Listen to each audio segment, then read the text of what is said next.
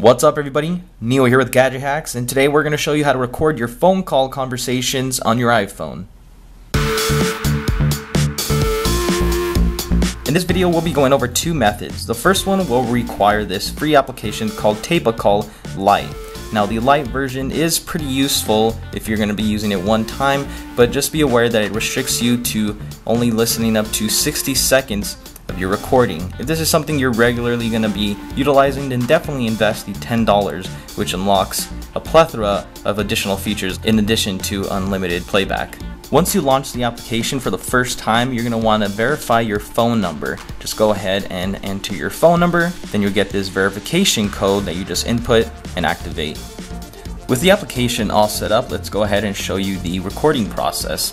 Just launch the application or head back into it and just tap this large recording icon. You'll then get the call screen where it says tape a call. You're going to be calling their service line that records your calls. You're going to wait a second until the add call option is made available. Once it is, just go ahead and tap on it and select a contact.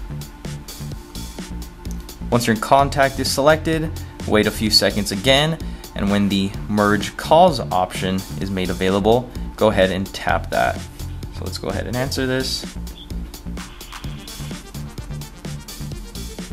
and now I'm going to go ahead and merge calls. Now this is a very important step that some people tend to overlook sometimes on accident. Just make sure that you hit merge calls, otherwise you're not going to be recording any audio except your own. With the recording done, just hit this play option and go ahead and select the most recent entry, which is right now. And then you can just go ahead, open it.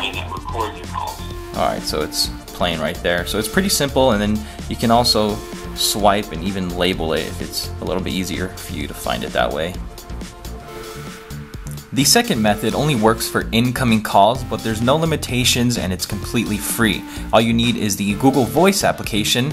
Once installed, visit google.com slash voice to set up your Google Voice account, which you can get a brand new number, or you can actually port your existing number, though it may cancel your contract with your carrier and it'll cost a one-time fee of $20. There's more information about that in the guide if you want to check it out, but using a new newly generated number with your current area code is possible and it's free, so go ahead and set that up. Once it's set up in your account, go into the settings. Within the settings, select the calls preferences.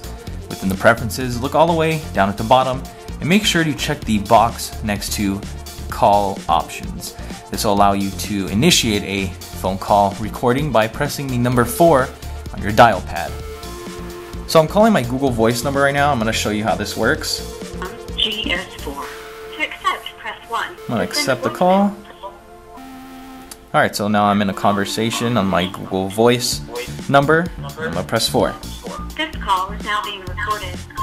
Now it kind of sucks if you're trying to stay hidden and you don't want someone to know you're recording them, but for legal purposes, they have to notify them. And I've actually tested it with the mute option enabled, and it will still alert the sorry the caller that they are being recorded. So just so you're aware, but it's still free and it's definitely a good option if you're looking to just get some free call recordings.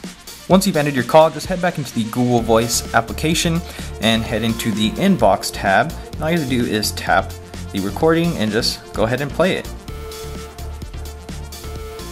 You might have to put your ear to the phone or you can tap this icon up there. So test these out and let us know which one you prefer. Feel free to leave us a comment, but definitely check out the full guide over at gadgethacks.com, especially if you want some links that I've mentioned. Also, don't forget to like, comment, and definitely subscribe for some more awesome and very useful Gadget Hack videos. Thanks guys.